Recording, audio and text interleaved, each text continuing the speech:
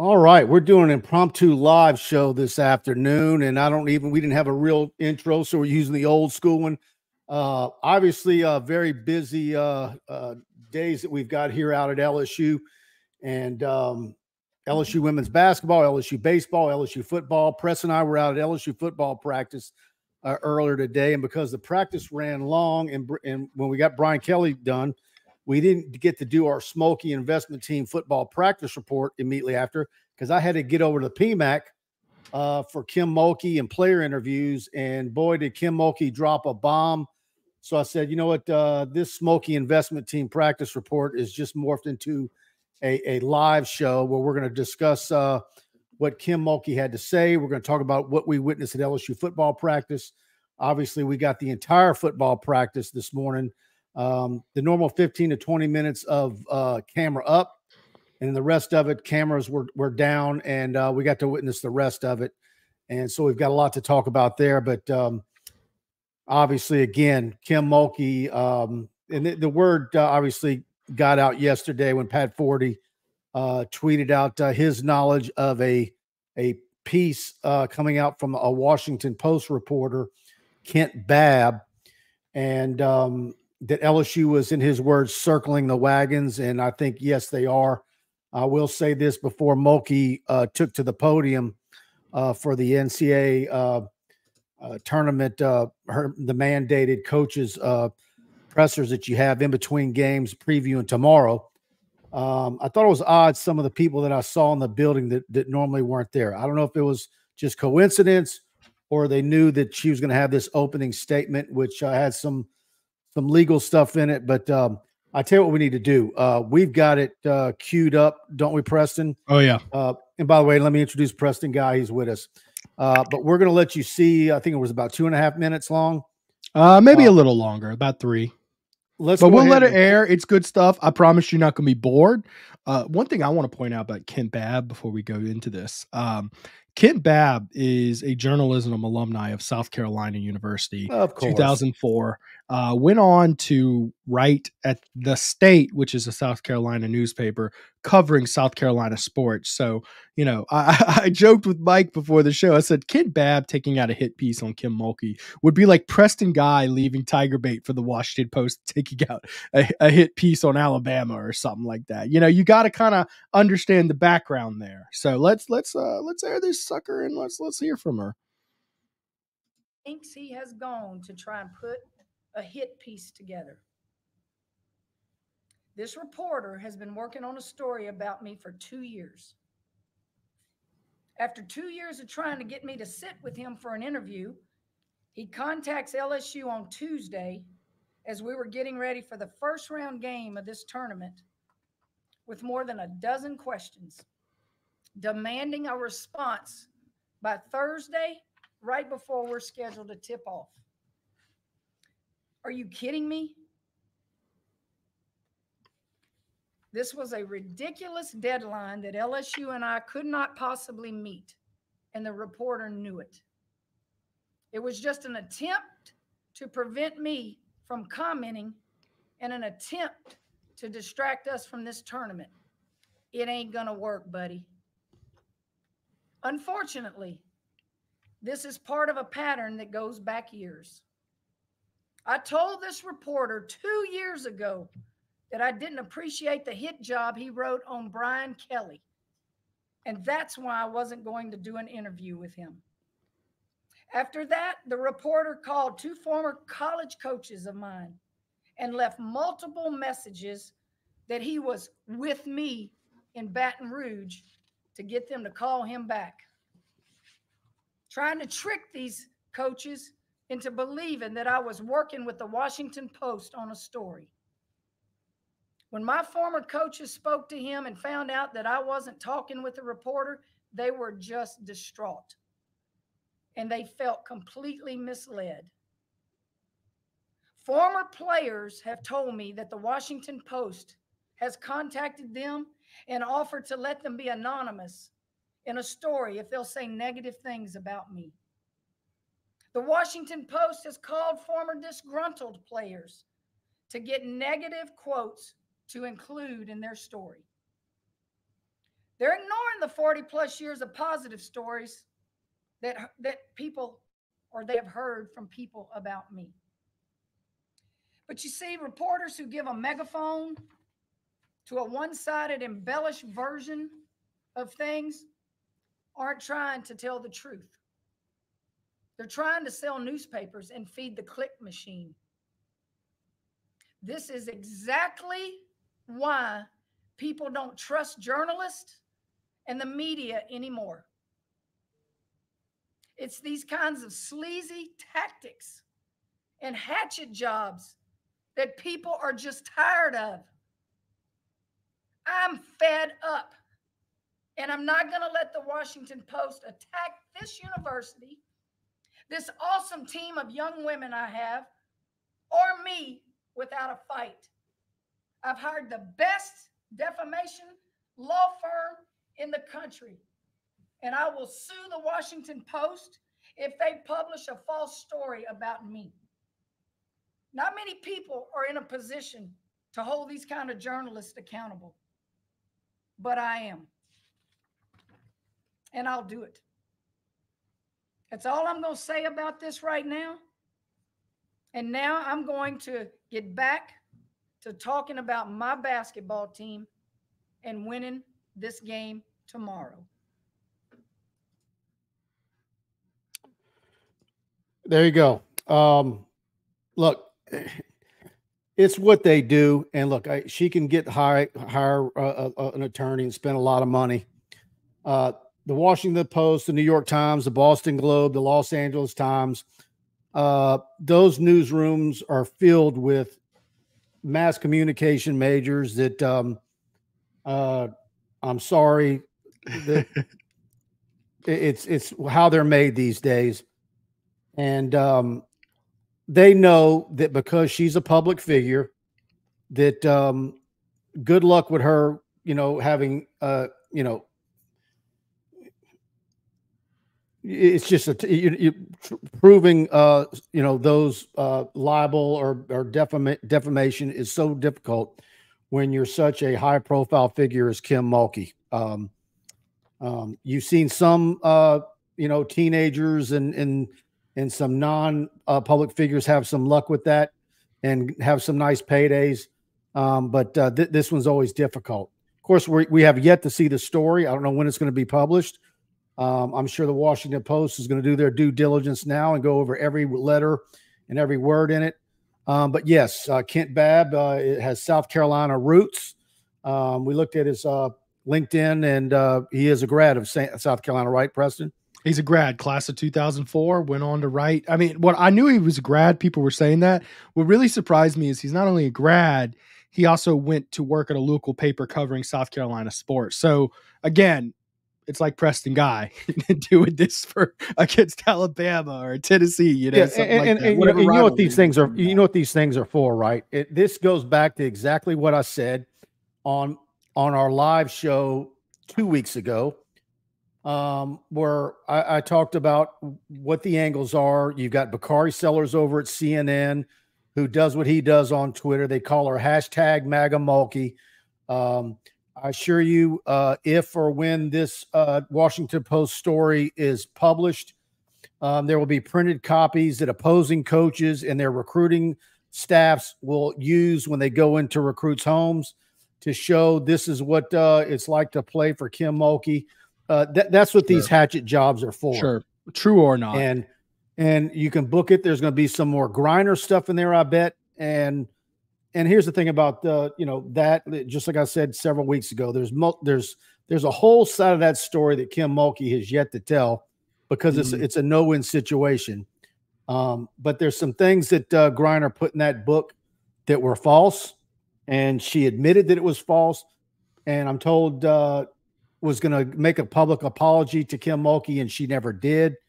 And uh, and that and that whole thing got spiraled uh, out of control everybody in Waco knows about it. And so I, I just think this is unfortunate for Kim Mulkey. Um, look, there, there's you can talk about who she is, why this is going on. Obviously, she's an outspoken person. Um, she's very successful, and um, uh, but the bottom line is on the other side, this is all agenda driven. And um, so we're going to talk about that a little bit more. And of course, like I said, this is going to be a spring football practice report because it's a Schmolke investment team practice report. But uh, Kim Mulkey dropped this atom bomb on us uh, in, in, in the one o'clock hour, and um, so we, we're making it a combo, and we decided to go live about it. Mike, I got to ask you real quick. Do you think Kim Mulkey hiring a defamation firm? Do you think it's because she cares and wants the money? Or do you think she's just doing it to punish the Washington Post for no, doing something it, it's it's It's to punish him, right? He's willing to take resources and take a loss. it's to make a point and to let people like that know that you can't get away with. The problem is, is that it's so difficult to win those kind of cases. It is. And- it is. She can sit down with the the best defamation lawyer in America, and believe me, he, he him or her will tell Kim Mulkey how difficult the case is and whether she's got one or not. Yeah. Um, a lot of it on uh, the early, a lot of it on the early end, though, like what she's doing, is kind of uh, a pre-offensive, so to speak. Um, but it's just the nature of journalism these days, and um, uh, the Washington Post is one of the the worst. Um, if you follow uh, anything uh, nationally, uh, you know full well about Taylor Lorenz and what a nut job she is at the Washington Post and the way that they conduct their business. And and it's a tactic uh, at all these outlets to do like Mulkey said in her opening about, you know, we're going live with this story, uh, and can you get the, get us uh, Yeah. a reply by this deadline, knowing It's chicken full well shit work is what that is. That's chicken Yeah. shit. Yeah. Um, so I'm not Tiger Shark, but I will talk on real quick. Uh, I did take Bob Mann's media law class, not, not actually Bob Mann, but he taught that class. Um, and one of the things about these, it's actually a libel suit, not defamation, because it's written. Uh, and uh, one of the things that's so tough to sue on this is the burden of proof is on the plaintiff. You have to prove they did it.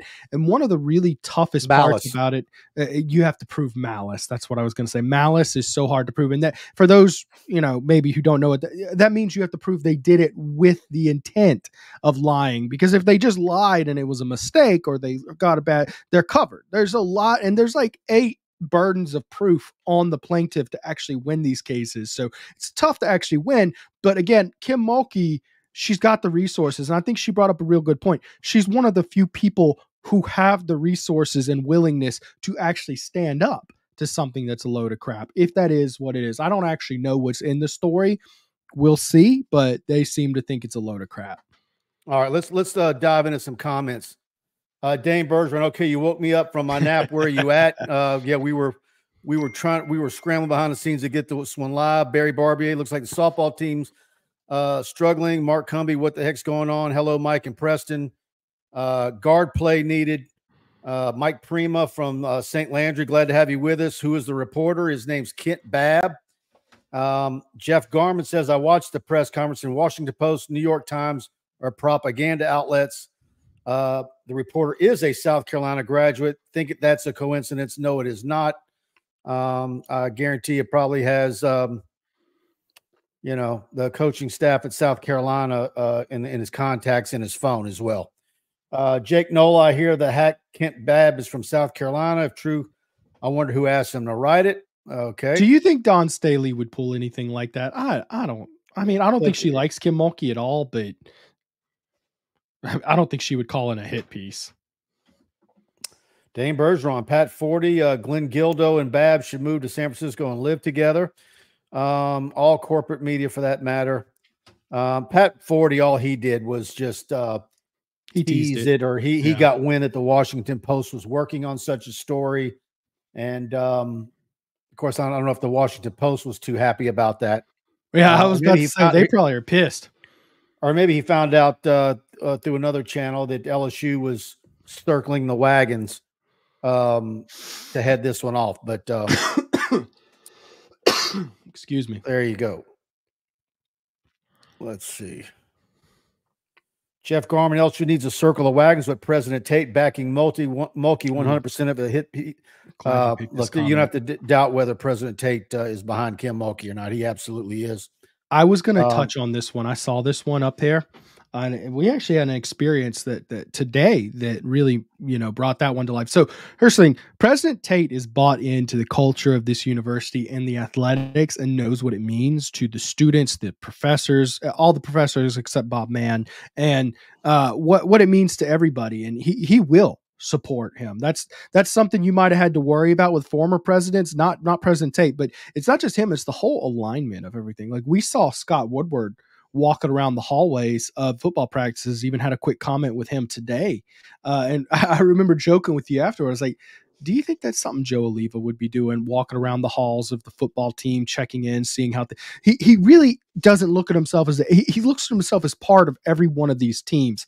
That's why Brian Kelly, when he comes here and talks about the alignment, it's not just talk and words. It's like you actually see the university's leadership really is aligned with the athletics now. No, you, you, uh, we watched uh, Scott Woodward on the sideline. Uh, a lot of recruits there, which we're going to be reaching out to uh, as soon as I can uh, catch our breath uh, here in a, in a, couple of hours. Uh, a lot of great uh, recruits on campus, visitors. And um, of course, we've already got uh, our practice video up on tigerbait.com. Go subscribe, try us out for $1.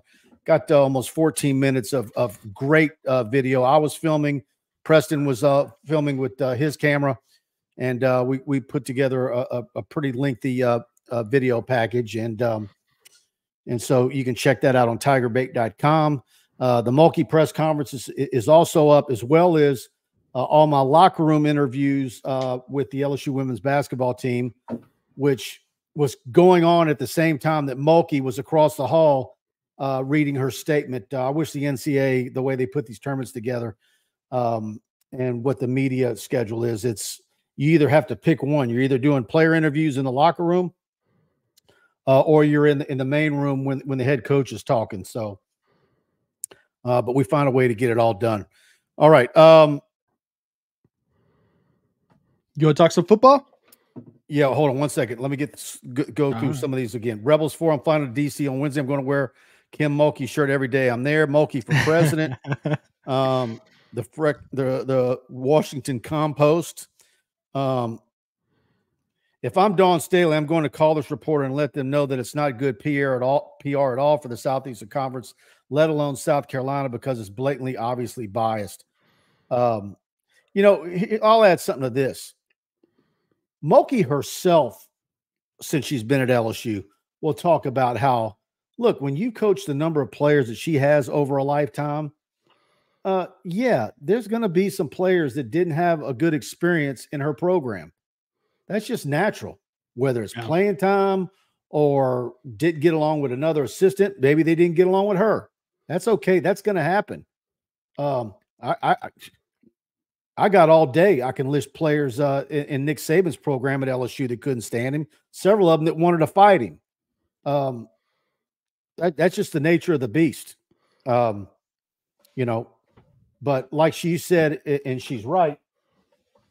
Um, you know, if you're gonna if you're gonna reach out to uh, you know dozens or, or fifty or sixty former players you're it's highly likely you're going to get three or four that are go on the record. I don't know how many Kent Babb has gotten to say bad things about her, um, but you can spend all day in Twitter DMs and tracking down phone numbers, and even and offer anonymity and and say will uh won't, won't say your name if you'll just say something bad about her.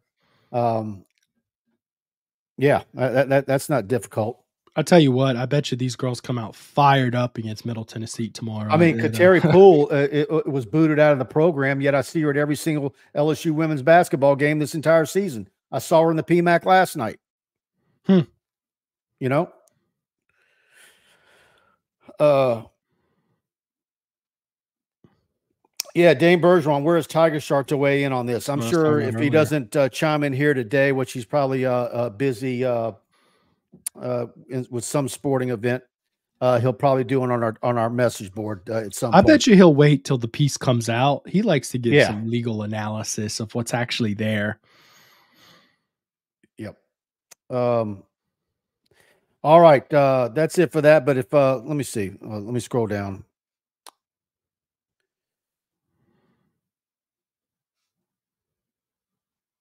Yeah, Ronnie Prude did get into it with Saban. Uh, I don't think Trev Faulk cared for him too much either. Neither did Kyle Williams, and there's many others. You know, that's a good transition. You know who got into it today at practice, right? Yeah, let's do it. Okay, that, if y'all, we we might circle back before this is over with. Um, but first of all, uh, before we turn to football, this uh, uh, practice report, which this is now a practice report, uh, Kim Mulkey uh, show, uh, is brought to you by the Schmolke Investment Team, and we're we're, going to talk a little bit about uh, Bart and Brian over at the Schmolke Investment Team in Alexandria uh, before we get out of here. But um, uh, again, we we had the 15 or 20 minutes of video and, and photo time, and but we were allowed to stay the entire time today. Um, Sage Ryan with uh, two interceptions on Garrett Nussmeier. Uh, Kylan Jackson, as, as Preston just talked about, uh, uh, was having a, a, time with the tight ends and gotten a, a major. He got into a bunch him. of scuffles today. He, he was one and one uh, in, in several of them. Him and uh, Pimpton were um, they got into a uh, big brawl. Him and him and Pimpton. Uh, Kylan Jackson gave up a touchdown to him on a goal line set. Kylan Jackson did not like that, and he made sure to let Kamorian Pimpton know. Was yapping his mouth, uh, and then Kamorian Pimpton did not like that yapping, and they really got into it. Uh, it was a pretty big brawl. It actually took a while to get them off of each other. I don't know if any punches were thrown or anything like that, but they were definitely shoving each other. It was a big big gathering. I did notice Garrett Nussmeier ran from, you know, basically 20, 30 yards away to break it up, really showed some leadership there. But, you know, I, I don't think coaches or anybody was really mad about it. It just shows that there's an intensity out there. Yeah, and look, this is this goes on every practice. Um, the media, we're out there and we see it and we think that uh, it's the end of the world. And we, we saw that last year, and um, it's natural and it's a part. That's football. Um, no big deal. But you don't like seeing Jackson uh, throw a punch. Uh, that's how you get a broken hand. Did you see that? Okay, I didn't see that. I, I heard some people maybe maybe clamoring about it. I just it's tough to see it in the moment. Yeah, I saw it. Uh, where That's my angle, it was, you it was very, cool. very, it was very much a punch. It happens, uh, though. I mean, and had it, had it hit a helmet, he he would have a broken hand right now. uh, but wait, let's talk about picking a fight with Mac Markway and Kamorian Pimpton and one like Kylan Jackson's not afraid. He's picking on the big dogs out there. Like like who you gonna go after next? Will Campbell? Like All right, what how do you want to do this, Preston? You want to go? You want to start on one side of the ball and go uh, by position? What we saw today? I was I was thinking kind of chronologically what I saw. Um, I'll, I'll start with drills um, you know, I, I spent a lot of time and you can see this this footage on tigerbait.com. I spent a lot of time with the safeties and DBs and I noticed and linebackers as well. And I noticed a lot of open field tackling drills. Drills where they're making you change direction, you're heading back in coverage, and then you got to flip your hips because they pass the ball underneath and really focus on making the tackle. And I'm gonna be honest, and you can see this on film. These guys were struggling with it it looked like they really hadn't done anything like that. And I think if you watched last year, you could see that changing direction and making a tackle was a massive problem for this entire defense. So uh, I saw a lot of guys stumbling, and we're talking about going and tackling a dummy. I really do think they need to really work on the basics, the elementaries of this football team. I think a lot of that really just just did not click with those guys a year ago. Um, so that that was one thing that stood out. Did anything stand out to you in the the drill section while you were filming? You kind of went to the offense while I was filming defense. Well, I will I will say, you know, I it, it would have been difficult to do, but I, I kept thinking all last year that you know McBride from Denham was a kid that I might could say is the top player in the state. He's a beast, and um, I had him right there in that in that discussion, and um, now I'm kind of kicking myself. Well, I, am not going to say that yet. Uh, it's there's pl- still plenty of time. Why are you kicking um, yourself over him? Well, just because I, I, think I just I mean, but look, I, I, will. I mean, I've been saying all along that it, it's a matter of time before he's out on the field. I, I just think yeah, he's a beast. He's running with and, the twos right now. Um, yeah, yeah. they have an interesting defensive backfield. They have uh, so at free is Sage Ryan, and Sage Ryan was your best defensive back today. He had two interceptions, including a pick six. He, he's your best defensive back. and and last year, by the way, he graded out as your best defensive back too. Zy Alexander was on the sideline, although he was walking around pretty well, I thought, stretching out and stuff like that, but no brace or anything. But he is on the sideline. So you have Toviano at one corner, and then the other corner is Ashton Stamps. Uh, both those guys are going to be fighting for basically one starting spot once Zy gets back. Uh, it's strong. You actually had Jardin Gilbert, the Texas A&M transfer, who uh, was okay. He got mossed by Kyren Lacy though on that deep ball. Remember that really nice catch Kyren Lacy made? Yeah. Oh man, and it was underthrown too. By the way, he was open by like five yards, and then he got underthrown and he just went up over the top over uh, Jardin Gilbert. And then they've got Major Burns at star is what coaches called it star defensive back. It looks more like a rover safety to me or a nickel back, but they've got him like up close to the line of scrimmage and they're calling it a star back. So, uh, and by the way, my streak continues. Uh, whenever I say something that's either negative or marginally negative about a player, yeah, the very next play they do something big. I was uh, uh, saying uh, something mild about Sage. Next play, interception. Last yeah. night, I, I was uh, kind of uh, in our live chat uh, thread on the, at the women's game talking about Mikaylah Williams and some really bad decisions shooting selection wise. She nails a three as soon as I type that out. Um, and we know what Kyren Lacy does to me uh, every time uh, it, it, for for the last two years. Um, he looked good today. Mossed somebody. Um, who was it? He mossed. He mossed uh, Jardin Gilbert. Jardin Gilbert. Okay. Yeah. Um, yeah. The, the receivers, the the offense is so far is so far ahead of the defense. Um, yeah, it is. It and is. they should be. Um, now hold up. I'm gonna say this. Even for the even first if, half of practice, um, they were they were making the defense look silly in the first half. The defense did eventually kind of get it together, though. They kind of started making some good plays. Deshaun McBride made a good play on a on a comeback. By the way, physically he's filled out. I mean, that is a big player. Expect him on the field a little bit uh, pretty soon. Um, uh, PJ Woodland running with the twos. He looks really nimble with some quick feet. Expect him to to work his way on the field. I think he he looked really good as well. Uh, and you know they they eventually like, you know Sage Ryan those interceptions he made were toward the end of practice. The, the, defense did get settled in and looked they looked better than they did during practice last year, right? But that's probably has a bit to do with the offense isn't as good as last year either. Yeah. Um, of course, uh, Major Burns is out there. I think I graduated high school with Major. Yeah. Um, 1972. He, uh, yeah. Um, Jacoby Guillory came up and said hello, and um, of course, uh, we know how thin that spot is, and um, Bo Davis was working that unit, uh, hitting the sleds pretty hard today. Mm-hmm. Um, I, you know, some of my biggest questions now, after when we're out there, is is the the battle for the the number two quarterback is is that open and, and shut? Um, no, I think it's wide open.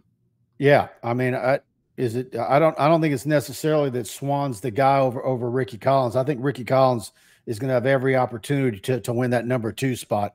By the way, they shared um, reps all practice long, and I don't know that one necessarily stood out as necessarily better than the other. I do know that Garrett Nussmeier looks head and tails better than both of them. Um, I will say, I will say this: I, I like the, I like the, uh, the velocity that I see in some of Colin Hurley's throws. So, mm-hmm. well, I think Colin good, Hurley as a fourth team quarterback is pretty darn good. Yeah, uh, wait, wait to see what he's going to look like in a year or two. I think that's going to be um, with time and, and and the system. And as young as he is, uh, just wait, wait on him.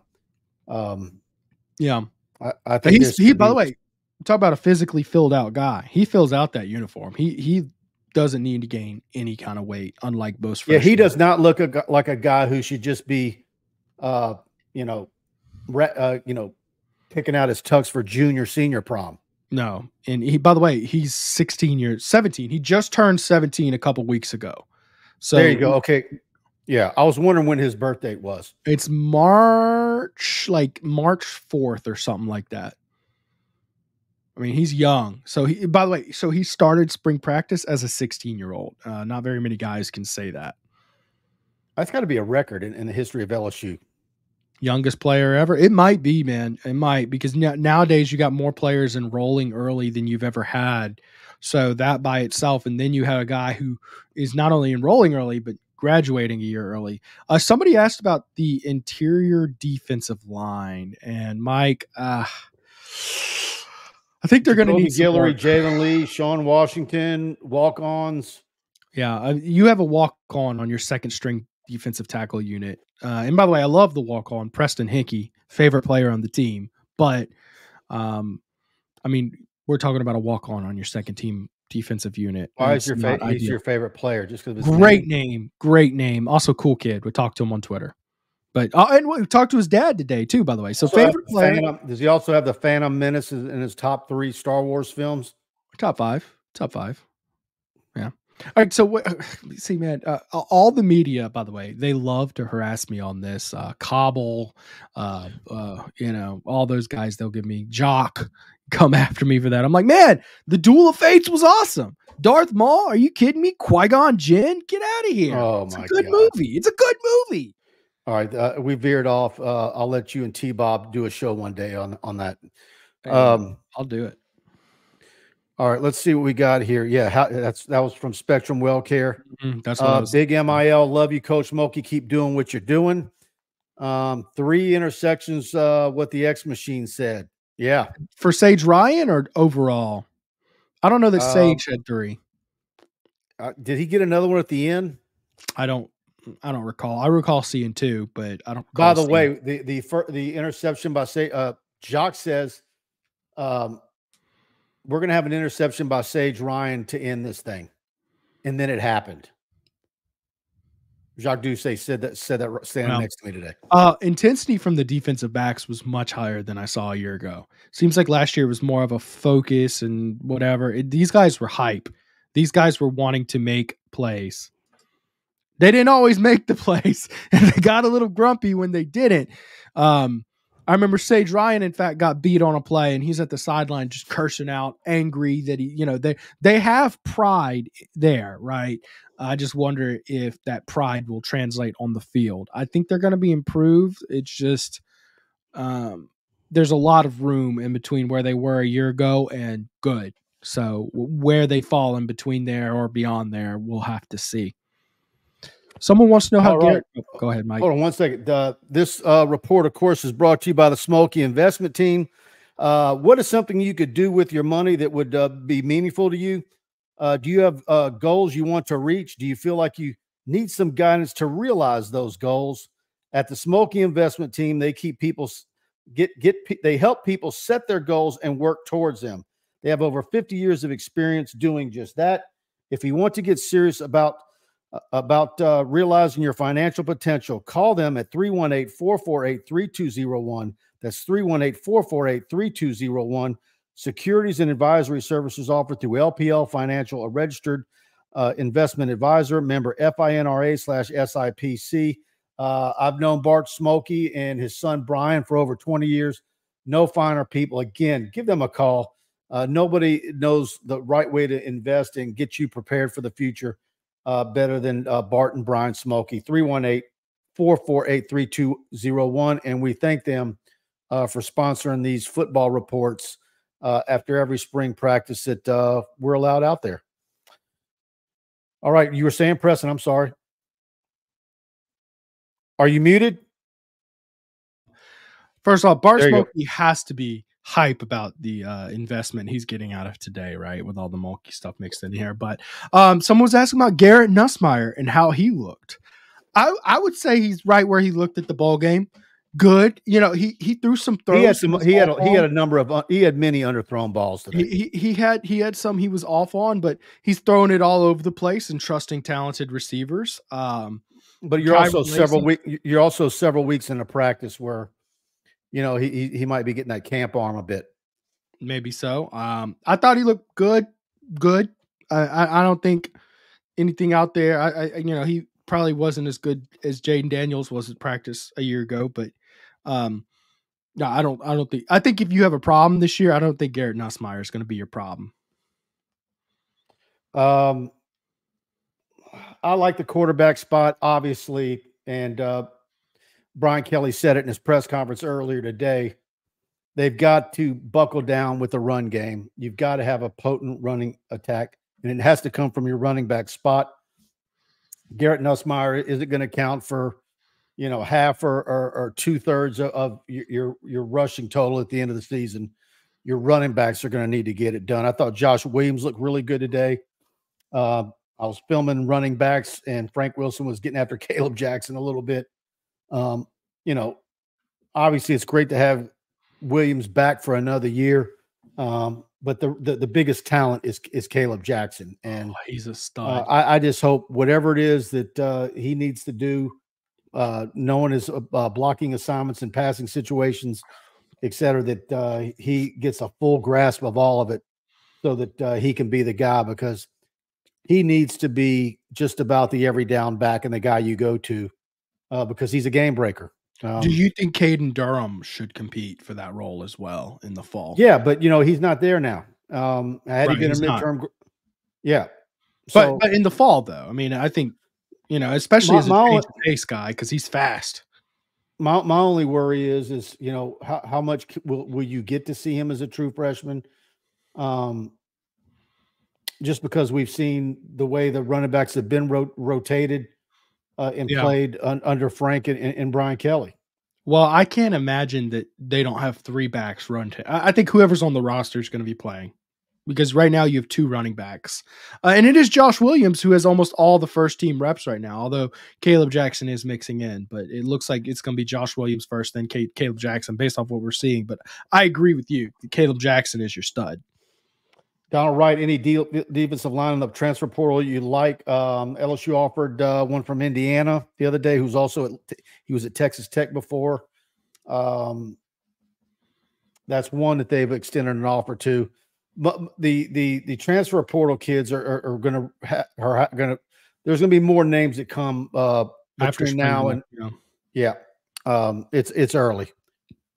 Uh, and I, I was talking to Hunt Palmer on his show yesterday, and he asked about that. And I said, "Yeah, they offered the guy, but right now there's no heroes for your program in the portal." look look the the the likelihood of having some extra having some defensive tackles that you're going to get in the portal is, is you're going to get somebody um i think they need two or three um but again how good are they going to be are you just getting you- are you just getting bodies are you that's where i you know Bu- buddy and i disagree i i, I don't know that um you're going to get somebody in the portal that is is a normal SEC LSU starter. Yeah, I don't know that you're Uh, going to get anybody on LSU's roster that is is that either. I mean, defensive tackle is looking like your weak spot of the team right now. Although I'm not Jacobian Guillory not looking is- like is- it is. It is. yeah, I mean, fact, Jacoby and uh, Guillory is looking good, but I don't know that he's enough by himself. this is the worst defensive line room in my lifetime at LSU. It's not great. And I and I'm I'm talking interior. Um I mean, the defensive ends uh, aren't world beaters either. Uh, I didn't get but too but but there's some guys there that I that um you know let let's see um how that uh, plays out because I mean, look, I- Deshaun I'm look- I'm- I'm looking at- and dude. I mean, I'm looking at Savion Jones and I'm like, man, come on, man. Like, uh, I mean, uh, is anybody that looks more impressive than Savion Jones in a uniform? Um, Who's the um, uh, guy plays for the Vikings now? uh, Danielle Hunter. Yeah, him. Danielle Hunter. yeah, I mean, but the-. But uh, believe me, Savion Jones ain't far off, far off from, from that.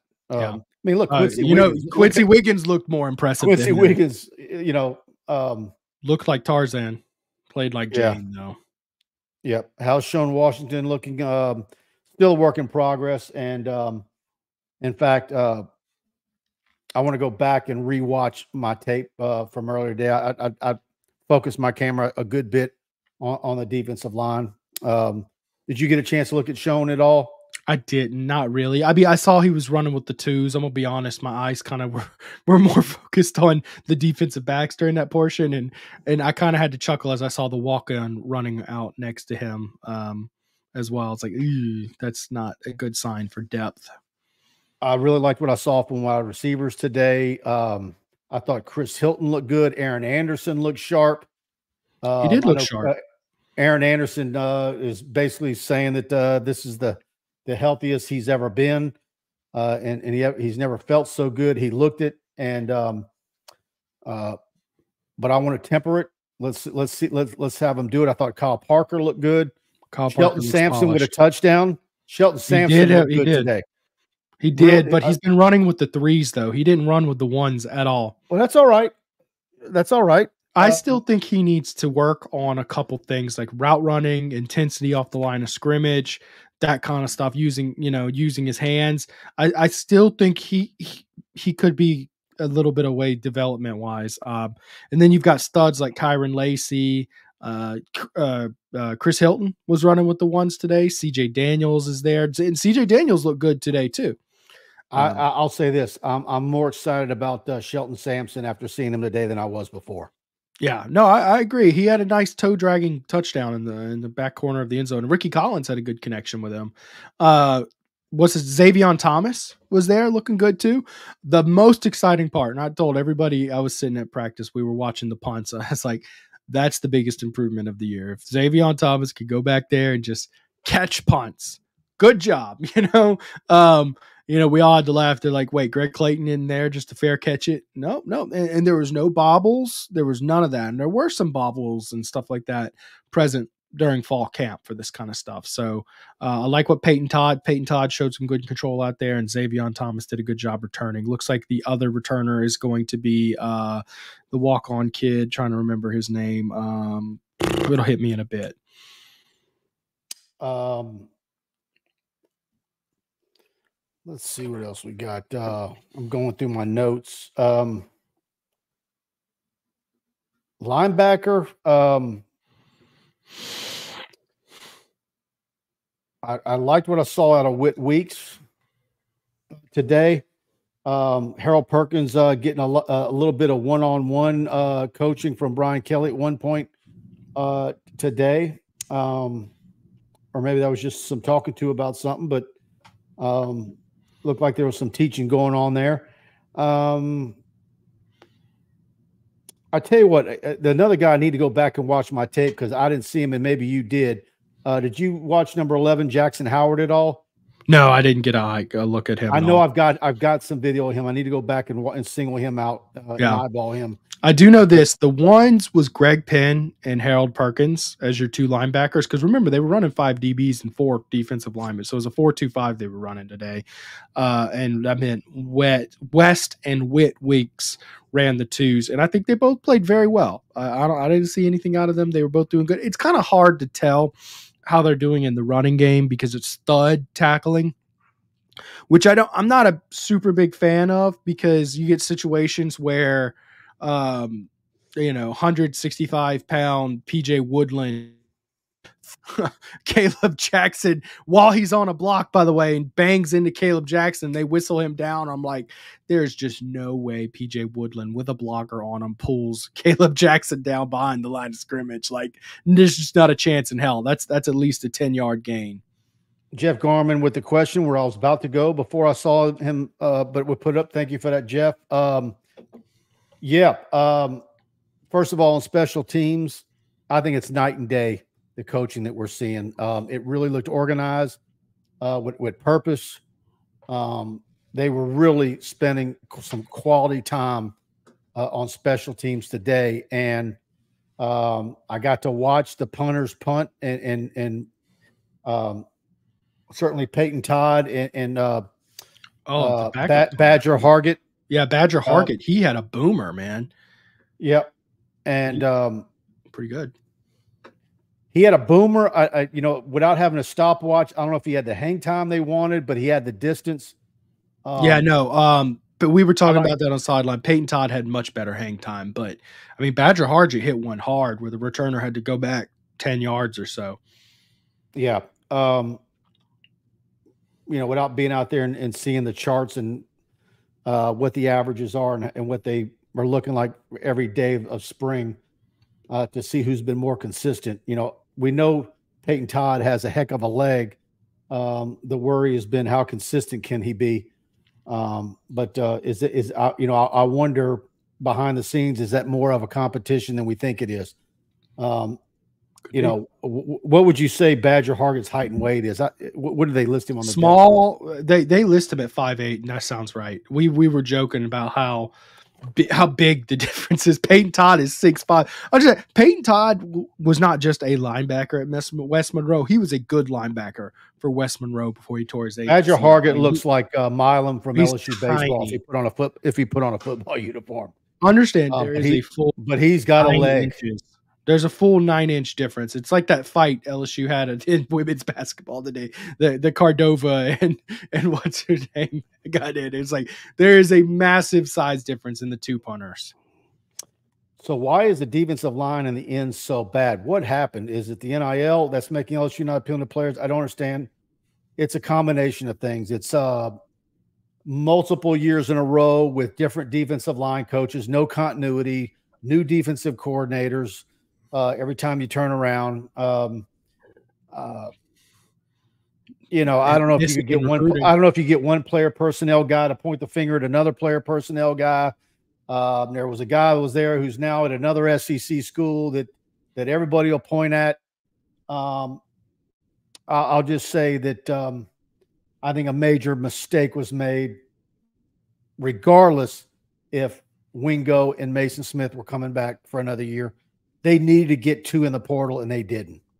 And Let's put it like this: I think the last two years it's been coaching, uh, and I think this year it's talent is the problem because of the bad coaching. So I think there's so many areas where the, where this where it dropped the ball and it's inexcusable, and um, uh, I'll just leave it at that. But I will say this, and that's you know the running deal between Buddy and I every Wednesday night is that if there is a great defensive tackle that gets in the portal, and it is, and it, first of all, what are the odds that a a, a bona fide SEC starter is in the portal in the next month or so? And slim. Is is is there is there a chance where there's two or three of them? All right. None. The, the, the other the other schools in college football aren't just going to part like the Red Sea. Yeah. Um, and, and say, okay, LSU, you just go ahead and have them. We know you really need one. Yeah. Everybody's going to want them. It's going to get a little better when Dominic McKinley arrives. And, then, and then, and then you know, where's that kid from originally? Uh, what relationships might he have with uh, staff somewhere else? And then what is the NIL price tag? And, and is LSU going to be in the ballpark? That that's those are all the questions. Um, we'll see. Um, but uh, there there is some there is some confidence though. I'll tell you this uh, in the building that uh, they're going to get it done, and um, you got to give this staff time. You just got to give them time. Um, I think there's going to be some growing pains. I think there's going to be some times this coming season where you're probably just as aggravated in the defenses as you were last year. I uh, uh, you're just going to have to give them time. Um, I like the linebackers. I think you got enough DBs to get the job done but the defensive line is no doubt a problem. Um, we'll see. Bo Davis and Blake Baker know some players out there. Hopefully, they can pull them in. Um, absolutely. All right, guys. Uh, this impromptu uh, Tiger Bait live show. Uh, thanks again to the Schmolke Investment Team for sponsoring. I hope you uh, enjoyed it. Uh, right in the middle of a Saturday, beautiful weather, and uh, looks like I got some sun. Did you, Preston? You know, I, a lot of people crack a joke, but I wear my little Nick Saban hat out there, and I'm good to go, man. I mean, look, I'm nice and not. You're you're red. Yeah. I'm good. L- like the jokes they made with my uh, Panama hat that I wore on practice yeah, last yeah, year. Exactly like that. Yeah, but I love my hat, man. It's American. It's over here, by the way. I'm, I'm about I'm about to pull it out. So if you enjoyed it, it's coming out. It's coming out of my No, so I stay good out there, man. All right. Uh, Dan Bergeron says, "Good job, guys. Make sure to get out and vote." That's right. It's a uh, election day today. Um, get out and vote. And um, and uh, now we wait to see the Washington Post. Uh, already on on our YouTube channel is Brian Kelly from earlier today. Uh, LSU uh, women's pre- uh, uh, interviews from the locker room. I got Mikaylah Williams, Aneesah Morrow. Last-Tear Poa. Last-Tear Poa was hilarious. Uh, talked to her about uh, her parents uh, were in from Australia, and uh, you're going to laugh when she hears about uh, what her parents like about America. Uh, that's one of the last interviews in that. I think it's about ten or twelve minutes. Um, she's awesome. She she she's got a good sense of humor. Um, and of course, Kim Mulkey from today. You watched that entire thing. Flau'jae and Angel Reese were part of that at the, the main stage. And um, LSU baseball from last night. We got that post game. We'll have it again uh, this evening. LSU going for number two against Florida. I made my prediction. LSU sweeps this weekend. We'll see if it holds up. And two o'clock tomorrow on ABC, LSU, Middle Tennessee, and um, LSU's focus. It seems like they don't have another. They commit 24 turnovers tomorrow, and they're going to lose. I bet you And they so- come out fired up. I bet you Middle they, Tennessee is a darn good basketball team, and they need to come out focused. And the PMAC is sold out. It's going to be rocking two o'clock ABC, and uh, uh, they're pretty excited about that because they get two meals in before uh, 2 p.m. tip off. So uh, lots of stuff going on, and uh, plus recruiting. I'm about to. I'm going to take a break here, and then I'm going to get to work on some recruiting stuff to uh, see how uh, incredible a group of uh, recruiting visitors uh, at football practice today. So and we've got uh, on the uh, premium side of Tiger Bait. Go to tigerbait.com.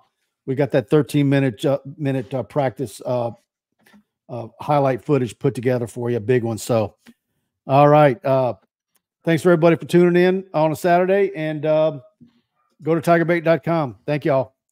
Thanks, Preston.